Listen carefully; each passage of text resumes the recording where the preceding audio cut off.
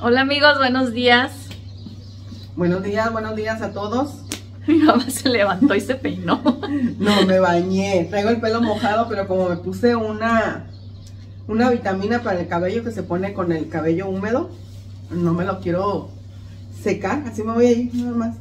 Sí, vamos Sí. a ir a hacer unas compritas.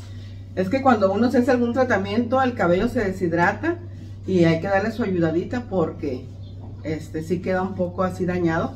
De hecho, me quiero recortar un poquito las puntas porque sí queda un poco deshidratado, sobre todo todas las orillitas, las puntas.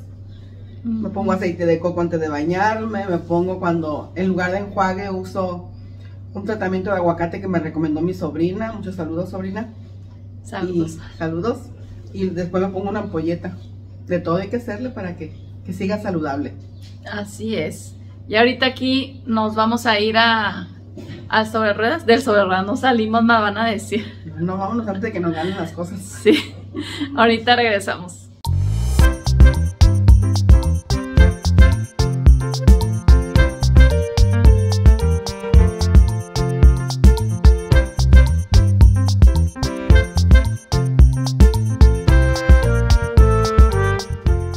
¿A cómo los ranches? Tengo vasos de 30, 50 y 90, madre. ¿El litro como? 90. ¿No vienen agarrosos? ¿Puedo probar uno? Llévelo donde quiera. No le gusta, me lo avienta en la cara. No debe saber lo que vende. A ver,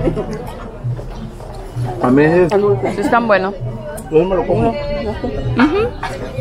no, un vaso de este, por favor. Con, con el chilito aparte. Y el chamoy también. Ok. ¿A cómo el agua de coco? En 30, mija. Pura agüita, no creo que le eché natural ni de la llave. Entonces ya empezó la temporada de Nanche.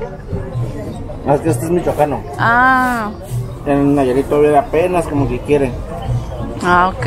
Por eso he seguido vendiendo porque ahora mucho está trayendo de allá. Pero no se habían puesto porque nosotros, yo ya, ya te he comprado aquí. Sí, sí, nos hemos puesto. Bueno, los viernes hemos fallado, pero sí, ya tenemos así consecutivos tres viernes ya. vendiendo otra vez.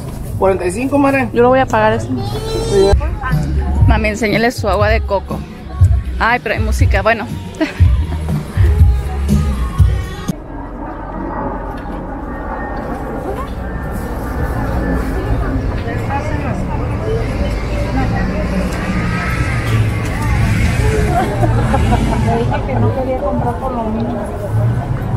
Llegamos y ahorita nos vamos a preparar los nanches porque ya teníamos desde que estábamos en Mazatlán que no comíamos, pero estos no son sinaloenses, nos dijo el chico que eran de Michoacán y me, me preparó la, el chamoy y todo lo que trae, ciruela también. Le compré estos chupones a Dante, aunque ya no quiero que use chupón, pero de repente como ahorita ya está en el proceso, se le pierde y pues, uy, no ya lo estaba dejando y que le salen las muelitas, trae todas las muelitas de arriba y él quiere el chupón, quiere la, tiene la necesidad de morder, le damos morde, le hemos dado mordedera. Allá en Turquía yo tenía mordederas, pero nunca las agarró bien. Como él fue un niño con, que usaba chupón, como que con el chupón se consuela. Compré este, que me dijo la muchacha que es para ponerme chapetes y a la vez es como eh, un labial, pero no lo, ni siquiera lo he abierto. Ahorita lo voy a abrir. También compré estas. eh, yo enseñándoles y eso era que no, me pinto mis uñas. Estas, precisamente para eso las compré las limas, porque las traigo todas disparejas. Y mi mamá compró estas pantuflas que se miran súper esponjaditas por dentro, esponjositas. Y miren la suela, bien buenas que, que las agarró. Y barata. Le costaron, ¿cuánto mami? 120, 130, 130. Eh, fue una ganga, ¿eh? Fue una ganga. A Oljay, ¿desde cuándo que le andaba buscando pantuflas y no le encontraba? Y miren, les- le encontré estas. Que acá no, no batallo por la talla porque Oljay es muy patón, ya lo he dicho anteriormente. Le compré el, del número Ah, mami, esta era 11, 12 igual. Ah, no, es 13. Pero no importa que le queden un poquito grandes. Es que la, la 11, 12 se veía muy chica. Se miraba más chica. eh, Ya es 11, 11 y medio por ahí. Y pues estas también le van a... Tienen la suela también hasta para salir allá afuera, le van a salir bastante. De nuevo no me compré nada, solo para mí compré los nanchis. Le digo a mi mamá que ya se me está haciendo costumbre no comprarme nada. Pero bueno, también uno tiene prioridades. Esta chamarrita, miren, nueva. Nomás que me dijo la muchacha que no traía etiqueta, pero era, eh, nueva para Arif. Me encantó. Está muy bonita. Mi mamá le compró una chamarra, no, un suéter.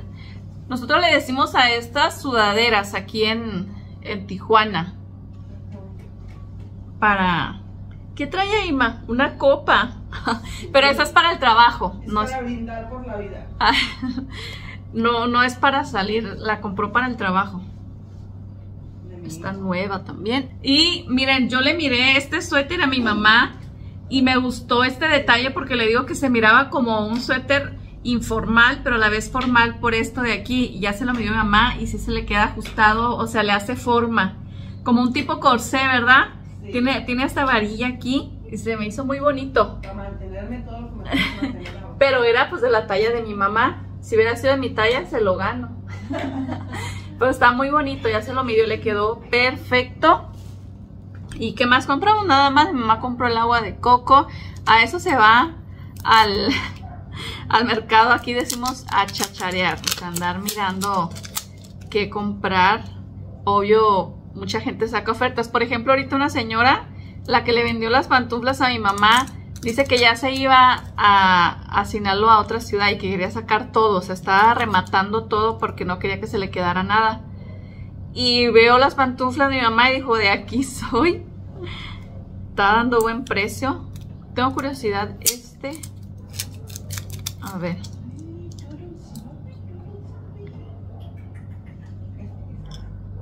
Es para las dos cosas entonces. No, yo creo que nada más es labial. A ver.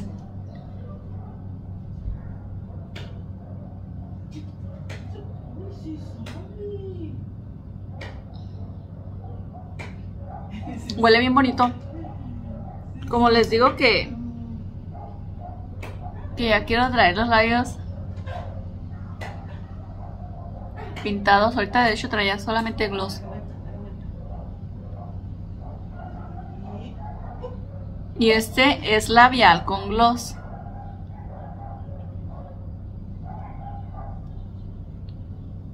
Así. No está tan fuerte, está bajito. Oigan, que me pongo a leer ahorita porque me empezó como a picar los labios y nunca había sentido esa sensación con un labial. Y ya lo leí, dice voluminizador, o sea, te da volumen, como que te hace los labios gordos. Y me dice mamá, porque yo pensé que era también para ponerse aquí chapetes y a la vez, porque hay, yo he visto que hay de doble uso. Dice, "Ah, imagínate que te hubieras puesto en el cachete, se te hincha más. Ay, mi mamá se pasa. A ver, no me manché. Sientes la sensación así como, como que te pica. Si lo siento más de 5 minutos me lo voy a quitar. Pero según esto, te agranda los labios. Nunca me había comprado uno de estos.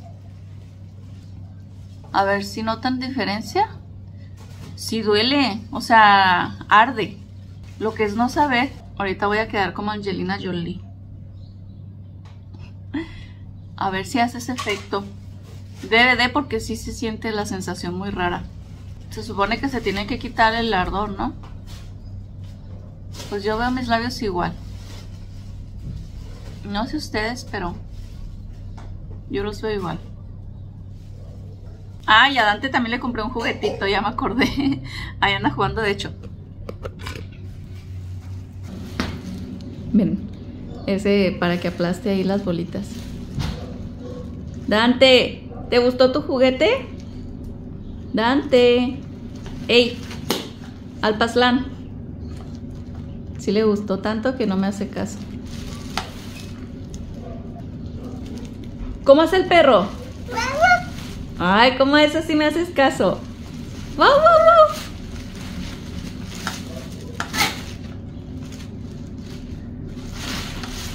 Dante, ¿cuántos años tienes? Dante, ¿Cuántos años tienes? Diles, uno. Al dedito. Uno. ¿Cómo se porta el Yayarif? Muy bien. Así, ¿verdad? Sí, muy bien. Estoy haciendo pancakes porque se nos antojaron ahorita con el frillito. Ha estado lloviendo desde ayer. Ya aquí salieron. Pero es de la harina. Pero de la harina Sin que gluten. sin gluten. Y miren, aquí Doña Chepi traigo aquí un- una discusión. Ay, no, discusión. Resulta que mi mamá desde anoche está con mucho vómito. eh, y pues obviamente cuando uno vomita, pues no está con la energía al 100. Le digo que se acueste, que se siente y no quiere. Véanlo. Hasta lavando trastes que ni es necesario, que yo lo puedo hacer. Oljay y Dante están con mucha eh, diarrea y Oljay también con vómitos, sin con dolor de cabeza, dolor de cuerpo y pues aquí andan apenitas. No, no, no, tampoco penita. Y se me puso bien Mira, ma, Oljay dijo que no tenía fuerza ni para agarrar la pastilla que le llevé.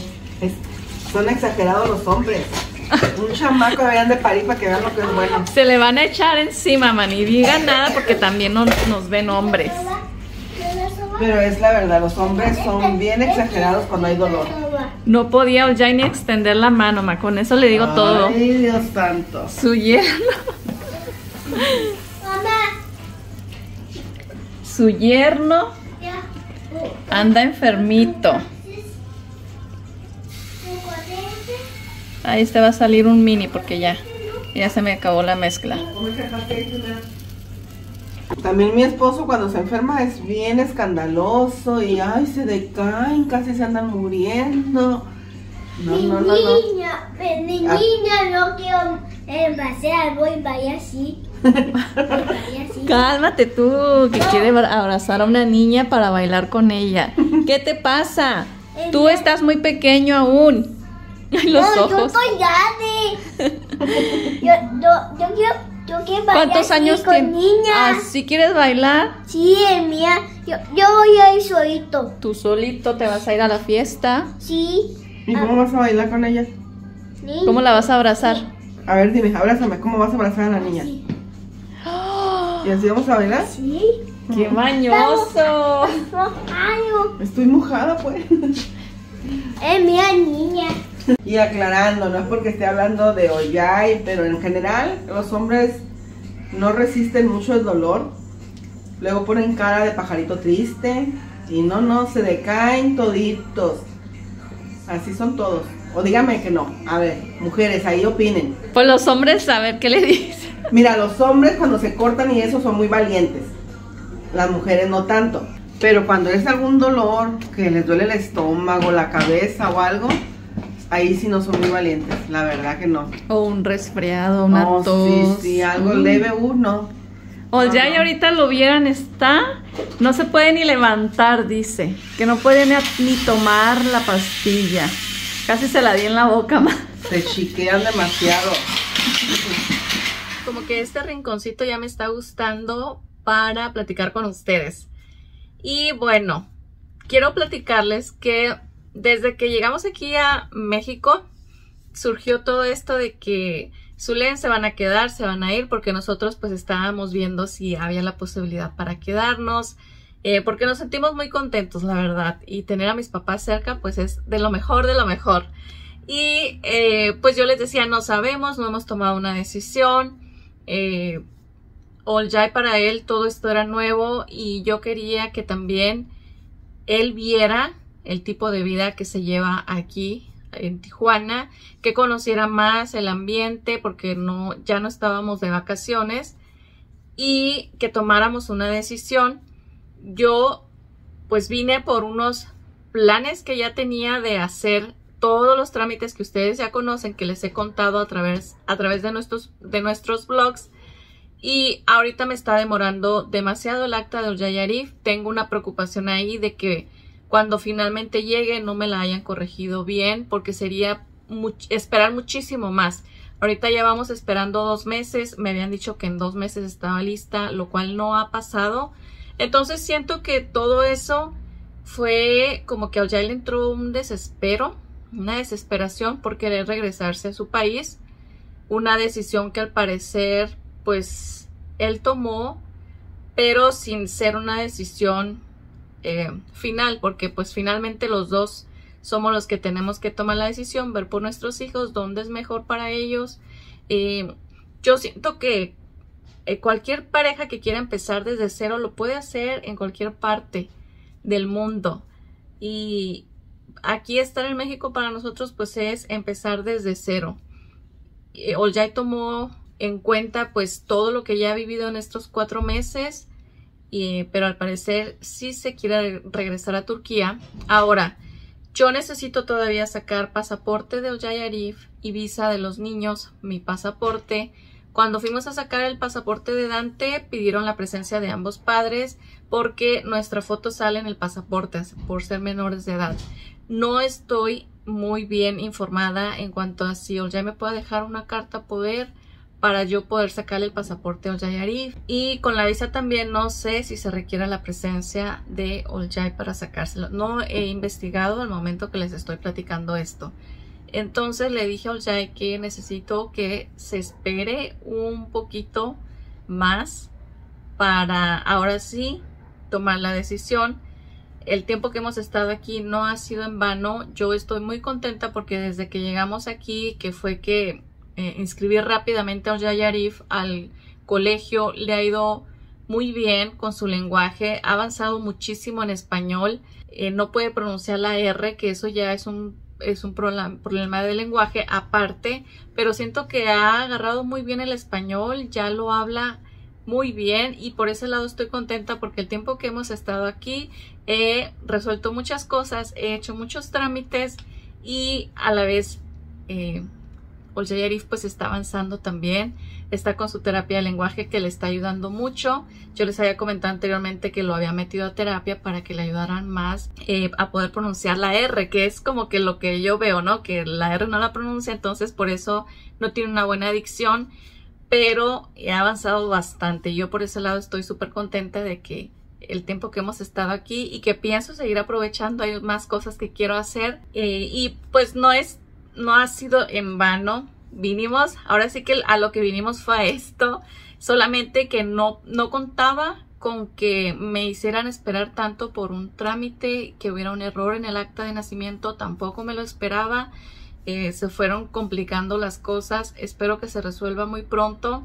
No quiero tampoco que Oljay entre en un momento en el que diga ya, ya me quiero ir. Quiero que sea paciente, que me ayude también con los trámites que queremos hacer. Ya en el camino de estar acá, pues obviamente eh, cuando estás con los tuyos estás más en paz. Eh, hay más paz mental. Yo me he sentido muy contenta de estar aquí con mis papás. Eh, los niños están muy contentos aquí también en México. Oljay también está muy contento aquí en México en el último blog yo les, perdón, en el último en vivo que hice, que siento que en el en vivo es como que me abro más porque ustedes me están preguntando en vivo y de ahí surgen todos los temas. Yo les estaba platicando que surgieron unas cosas, cambiaron unas circunstancias allá con la familia de Oljay y también eso lo trae en mente, que son cosas que él tiene que ir a resolver allá. Entonces, creo que se le juntó todo y por eso me comentó que él pues se quiere regresar a Turquía, sea donde sea, como decía una cosa que les compartí por Instagram, donde esté tu paz, está tu hogar. Yo me siento muy en paz, tanto en Turquía como en México. Me siento muy feliz. Si yo no estuviera feliz en Turquía, desde cuando me hubiera regresado, me hubiera venido a, a vivir acá. Pero yo me he sentido muy bien tengo una familia política que me ha aceptado muy bien, aún siendo extranjera. Tengo una relación muy bonita con mi suegra. Entonces, pues no necesito más. Es todo lo que yo necesito. Y obviamente, pues estar con mi familia. Mientras estemos nosotros juntos, no importa dónde sea. Obviamente también lo pensamos porque, pues, aquí Yarif y Dante quieren mucho a sus abuelitos y... Pero al final de todo, pues la decisión se toma como familia y para pues lo mejor que sea para nuestros hijos. Ya ustedes me han comentado muchísimo qué podría ser mejor, qué no. La verdad es que valoro mucho sus comentarios de todo lo que me han puesto aquí, de todas las cosas eh, que se pudieran hacer. Y pues vamos a ver amigos qué pasa llegando, nosotros terminando de hacer esto que necesitamos hacer con el Yayarif. Y ahora decidiremos en qué fecha eh, podríamos regresar. Veremos todo no sé si ya de repente cambie de opinión. Lo que sí sé es que pues ahorita él está decidido a que se quiere regresar. Y, y pues vamos a ver eso amigos. A ver qué, qué nos depara el futuro. Eh, pero bueno, yo todo se los comparto a ustedes, las cosas que van pasando en nuestra vida, porque finalmente el blog es de compartir lo que nos pasa, lo bueno, lo malo, las decisiones que se van tomando y ustedes a la vez siempre tienen algo bueno que ponernos, algo bueno que desearnos. Entonces yo estoy feliz de seguir compartiendo con ustedes y eso es lo que les quería comentar. Ahora sí me despido, gracias por vernos, nos vemos en el próximo video.